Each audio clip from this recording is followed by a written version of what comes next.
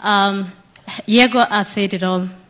Mine is just to say, rest in peace, Kiptum. Till we meet again, we will miss you. Bye bye. Thank you, thank you. Let's give them a hand as they're exiting. And just to recognize a legend, a father, and a mentor in the athletics world that we have in our midst, Kipchoge Keino, wherever you are, if you can just stand up so that we can appreciate you.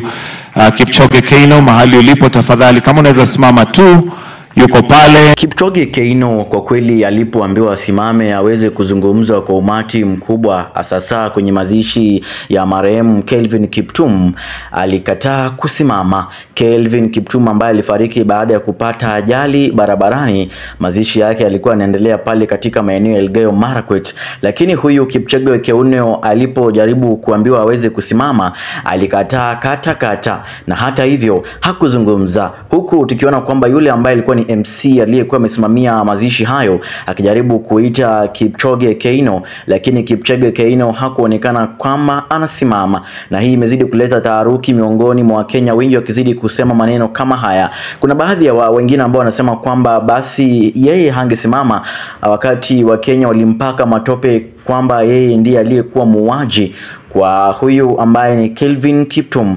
Wengine pia wakizidi kusema kwamba huenda Kipchoge, Kipchoge Keino aliweza kuwa mmoja wa watu ambao hakutaka kusimama, sababu huenda wengi wangemkataa kuzungumza. Zidi kufuatilia makala yetu, maana tuko habari zaidi ndani ya chaneli hii ya NKC Media.